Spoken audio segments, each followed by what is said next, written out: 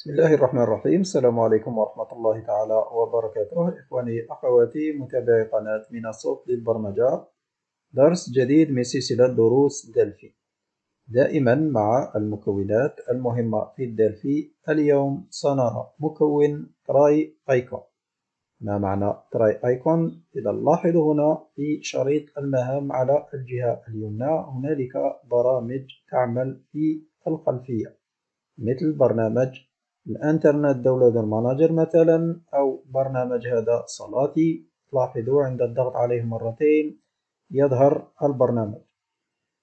عند غلق البرنامج من هنا ينزل إلى هنا في ال TrayIcon ويعمل في الخلفية. ولاحظوا عندما نضع المؤشر على هذه الأيقونة يظهر هنا hint باسم البرنامج. وعند الضغط على الأيقونة بزر الفأرة الأيمن تظهر هذه القائمة. إذا لعمل ذلك نفتح الدلفي. مشروع جديد.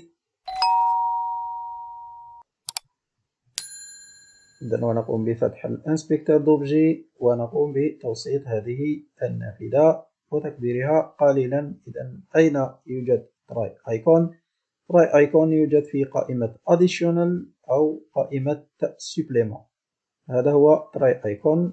نضعه هنا داخل ال form.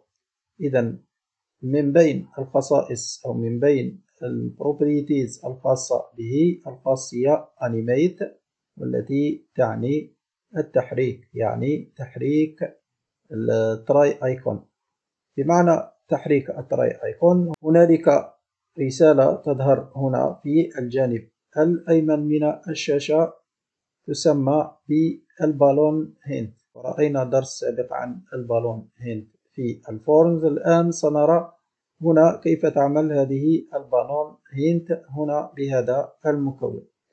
أولا نقوم بتفعيل الخاصية animate ثم ال interval نجعله صفر. هنا ال flag هي الآن bfNone.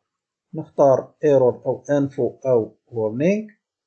يعني هنا ال TrayIcon سيظهر رسالة. إما خطأ إما معلومة وإما warning يعني تحذير. أضع هنا info. وفي ال balloon hint نكتب له تجربة مكون TrayIcon ال balloon timeout هو هنا آه، بال millisecond وهو مدة الظهور والاختفاء يعني هنا سيظهر في عشر آلاف ميلي ثانية ثم يختفي. في ال balloon title هنا عنوان لهذه الرسالة. نقول له TrayIcon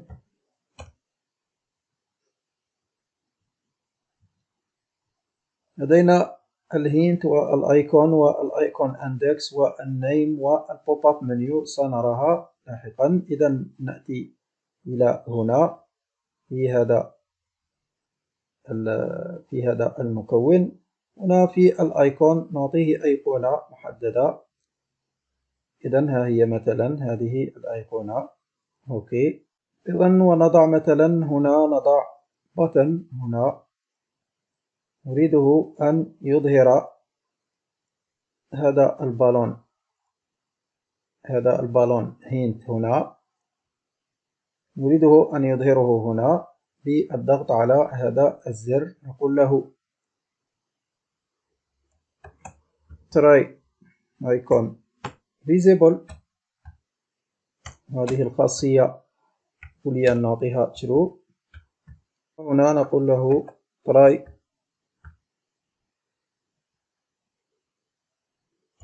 تراي ايكون واحد. دوت شو balloon إذا وننفذ. إذا نضغط على هذا الزر. إذا لاحظوا كيف تظهر هذه الرسالة ويمكن التحكم في ال setting الخاصة بها. هنا العنوان وهنا TrayIcon وتجربة TrayIcon وهنا هذه الأيقونة by default التي يضعها هذا المكون لأننا هنا اخترنا الأيقونة انفو يمكننا غلق هذه النافذة هنا.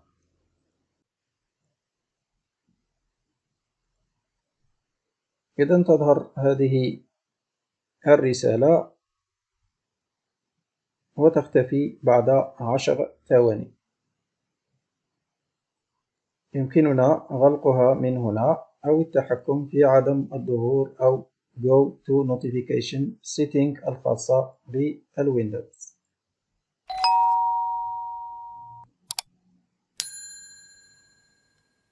وهنا لاحظوا هذه الأيقونة تظهر الخاصة بال project 1 ها هي الخاصة بالأيقونة الخاصة بالبرنامج.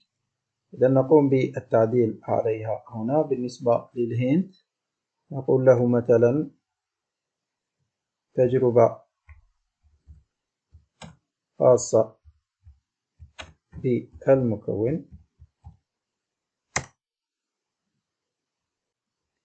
إذا نأتي إلى الحزمة Win32 نضع image list نتركها ستة عشر لستة عشر بالنسبة لحجم الأيقونات. نفتح نضيف أيقونات حجم ستة عشر ستة عشر.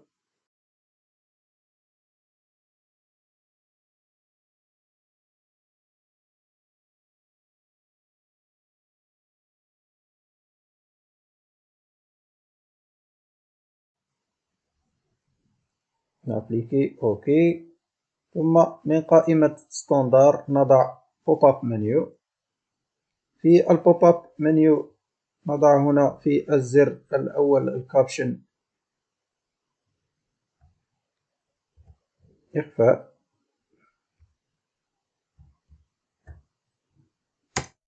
ثم في الزر الثاني نضع إظهار.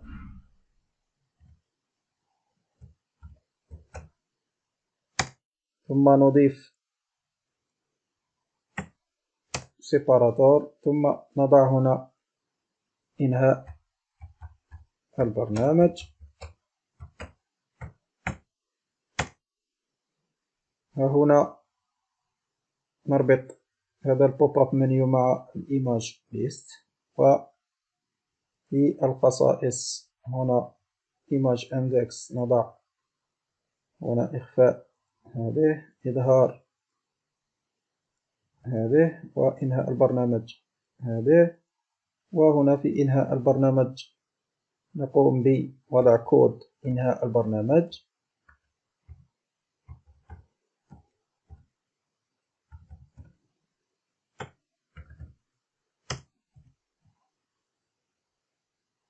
وهنا في الإخفاء.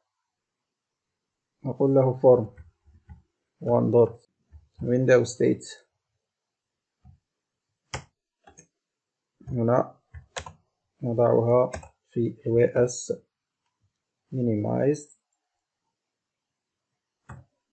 ثم نأتي إلى مكون try icon.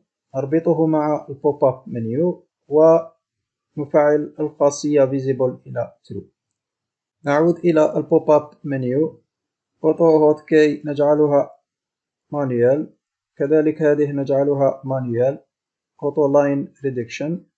ثم ال alignment الخاص بالكتابة نجعله في ال right بما أن الكتابة في اللغة العربية. كذلك ال BiDi mode نجعله right to left.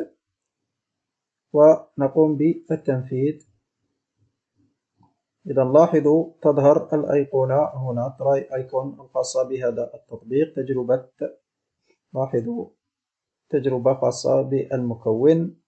نضغط بزر الفأرة الأيمن فتظهر هذه القائمة لاحظوا القائمة التي قمنا بوضعها. نضغط على إخفاء فيختفي البرنامج. نضغط على إنهاء البرنامج فيقوم بغلق البرنامج. ثم نأتي إلى try icon.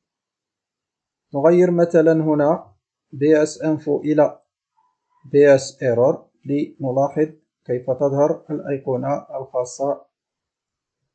لاحظوا تظهر الأيقونة الخاصة بهذه الرسالة على أنها error نغير كذلك إلى warning.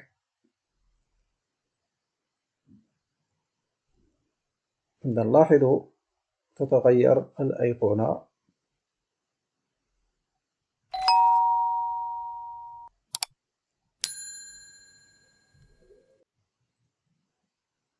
إذا كان هذا كل شيء تقريبا عن مكون تراي أيكون في الدلفي. تقبلوا تحياتنا والسلام عليكم ورحمة الله تعالى وبركاته. إن أعجبك الفيديو لا تنسى الإعجاب والاشتراك في القناة.